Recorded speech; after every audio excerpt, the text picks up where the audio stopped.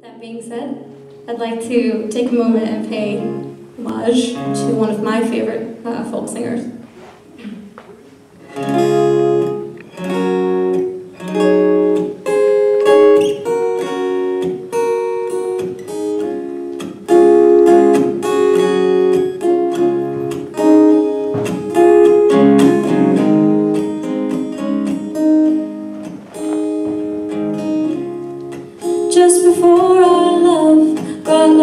you said.